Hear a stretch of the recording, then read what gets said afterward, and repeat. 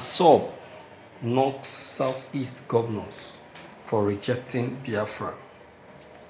The movement for the actualization of the sovereign state of Biafra has criticized Southeast governors for turning their backs on Biafra and supporting Igbo presidency ahead of 2023 general election. Mm-hmm. MASSOB, who said the stance for the governors was in the minority, added that majority of Igbo people were pursuing the actualization of a sovereign state of Biafra. The Director of Information MASSOB, Sunday Okereafor, told Punch that the quest of the Igbo elite for an Igbo person to succeed the President Mohamed Buhari was a mirage as the Northerner will never allow an Igbo man become president of Nigeria. He said there is no way an Igbo man will ever rule Nigeria. Imagine the Southeast governors are saying that they want Igbo presidency and the masses are being killed in Obigbo. You saw how many were killed. They killed MASSOB in thousands. Okereafor urged the Igbo elites not seeing the ambition of becoming Nigerian president to relocate to other parts of the country as mm-hmm. majority of Igbo would not support them. The governors should come up with their own presidency agenda. Let MASSOB come up with Biafran agenda and we will see who the people will support. Thank you for listening to this news. First and foremost, my viewers, permit me to ask this question. Where does Wazirike belong?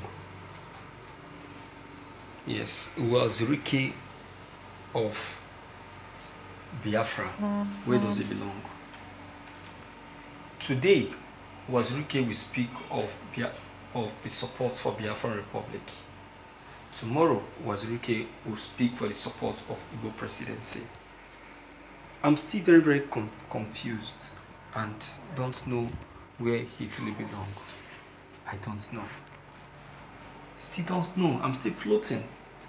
Though what he has said is the truth. There will never be Igbo presidency. It will never happen. Ndigbo will not produce any president. They are just being fooled by these northerners so that they will not focus on the pursuit for Igbo presidency, for um, Biafran actualization. They know what they are doing. What he said is the truth.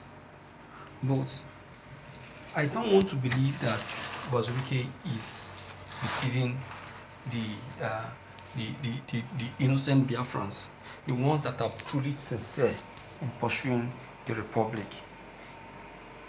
You understand? Because I can remember vividly well when Wazirike was contesting and and um, and supporting uh, Igbo presidency, saying since the Igbos, if the Igbos can be given presidency, then there should be the, the Biafran can, can, can, can, can still wait.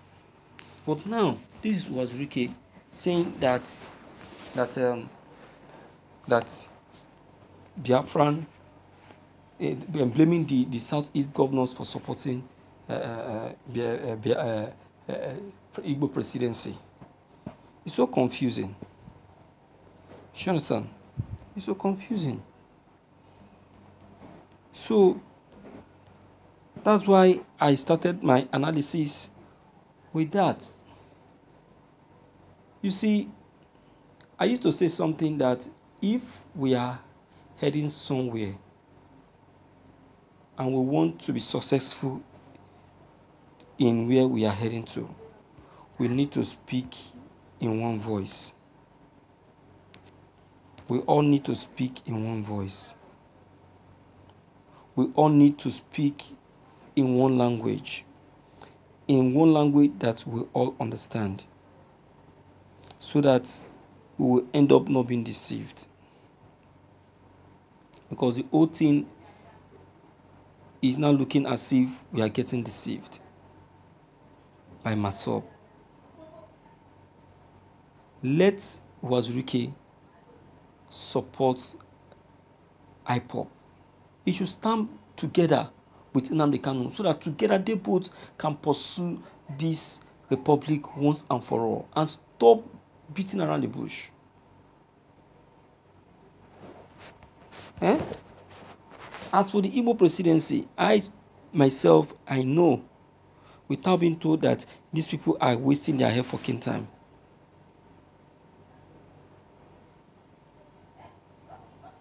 They are just wasting their hair fucking time. Because there is no way, there is no way that the Igbos will achieve presidency when the IPOB has not seconded or MASSOB has not seconded to it. The, the, the, the, the, the, the MASSOB and, and, and the IPOB has the highest Igbo supporters. And whereby the MASSOB and the IPOB are not in support of Igbo presidency, then it is sure that there can never be any Igbo presidency presidency because these people are just deceiving themselves, defecting from one place to the other. Didn't you see it? Yeah, that's what he did, and that's what they are doing. So let them keep defecting. To me, they are wasting their time. They are deceiving themselves. Let them keep deceiving themselves. When 2023 comes, then we shall know who is who. Yes. Umahi had just defected. Now we still have like five more people have defected to APC. All of them pursuing Igbo presidency for their own interest, not for the interest of the people. Hmm. I laugh. I laugh because we don't know these politicians and what they are up to and what they are capable of. They alone know themselves and know what they want and what they want to do. You don't know. You are just watching, believing that they meant well for you, whereas they don't. They don't mean well for you. They are deceiving you, making you to believe that they are for you. Ironla, it is a plantant lie. They don't mean well for you. So please don't be deceived. Don't be carried away by their tricks. This is what they do, and this is what they always do, and they will always do it. Do you understand? So that is that is politicians for you. All right? But then meanwhile, for the Igbo presidency, I know it is very very impossible and can never and will never come to play. You understand? So, my viewers, deem it fit to leave your comments below the comment box. Click on the subscription buttons as well as the bell buttons to get updated whenever we upload any new videos. Thank you.